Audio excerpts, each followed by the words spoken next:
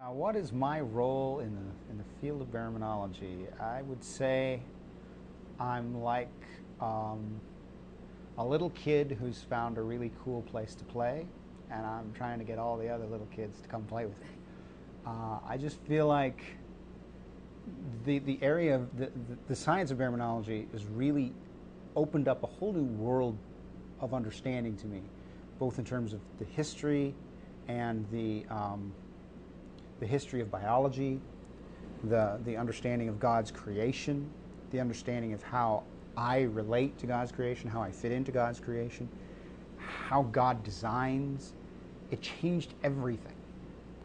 And I just feel like I want to inspire a new generation to start thinking about um, really deep issues that generally we haven't much thought too too much about in the in the past.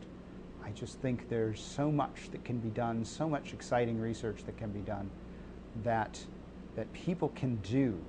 It can be done. We can do these things. And that's what excites me. And so I would say my role, my specific role in, in is sort of um, chief uh, enticer, chief instigator. I'm trying to get people excited about it. Uh, and so I've dived into various areas of uh, that I've had limited experience with in my career, but uh, I've sort of expanded on in baraminology to develop these, these new techniques and to try to come up with applications for that stuff and to show people how baraminology can really change the way we understand creation. I would say the biggest excitement um, right now, I'm just finished work on a big monograph, a big book, uh, listing out uh, as many created kinds as I could come up with. Um, and when I started out, we had about really definitive evidence on about nine created kinds. When I was done, we got 49. So we basically quintupled the number of created kinds. Uh, and the results have been really very surprising and very supportive of exactly what the Bible shows. Uh, the Bible tells us about the flood, about the recovery after the flood, uh, and things that are even a mystery to the sort of conventional evolutionary biology. Um, and that to me is even more exciting because I'm beginning to see the fruit now of baraminology is a, a distinguishing, a distinguishing uh, predictions and distinguishing characteristics that set it apart from both uh, sort of conventional species fixist creationism and at the same time set it apart from evolutionary biology. It's a whole different thing and it's pretty cool. I think that's really exciting. Why are you so passionate about studying kinds, biblical kinds? Yeah, why bother studying kinds? That's a good question. The way I like to think about it is, is thinking about design. Um, usually, when we think about a design, we think about a thing that's designed for something.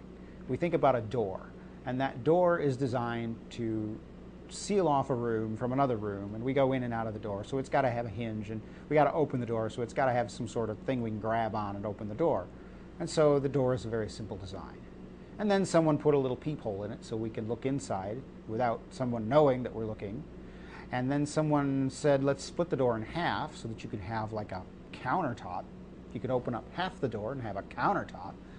And so those kinds of designs, those are a much higher level sort of design. It's not just a single purpose design, it's a bigger design, it's a bigger kind of design. The way I like to illustrate it with my students is a Swiss Army knife. So a Swiss Army knife, when you think about a knife, you know, you got a knife and you can cut your meats or you can open your letters.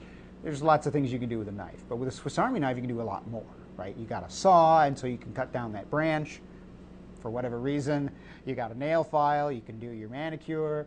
You got uh, all these other crazy tools that are all crammed into this little knife.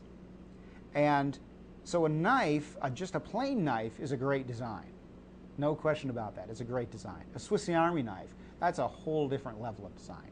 I mean, that's the kind of design that I see in biology.